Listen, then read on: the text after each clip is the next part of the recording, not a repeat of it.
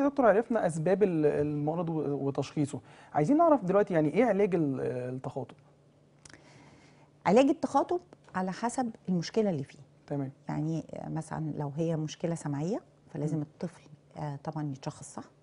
يلبس السماعة المناسبة ليه. لو في عملية جراحية زي مثلا زراعة قوقعة تبقى طبعا آه، التدخل فيها مبكر. التأهيل التخاطبي حاجة مهمة جدا جدا مبكر.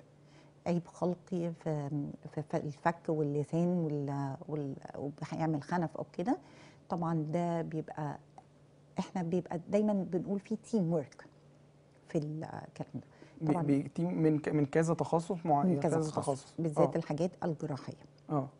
ممكن حضرتك تقصدي إن في بيكون في تدخل جراحي يعني؟ آه طبعا.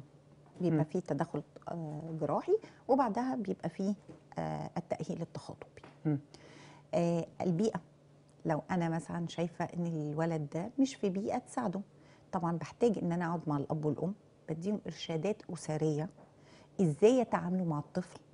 إزاي نعلمهم إزاي يعلموه اللغة آه بنصح بدخول حضانة مبكر وبتابع الطفل. يعني أنا ساعات بنقول إيه إحنا هنساعد الطفل إن هو يكتسب من البيئة بس أنا ساعات بعلم البيئة إزاي تبقى أرض خصبة إن الطفل يقدر ياخد منها. يكتسب من البيئة نفسها آه، اللي الاشخاص والأم آه. وأخواته إزاي يكلموه وازاي يروح الحضانة وازاي يتفاعل مع أطفال زيه ويبتدي يقلد ده كله.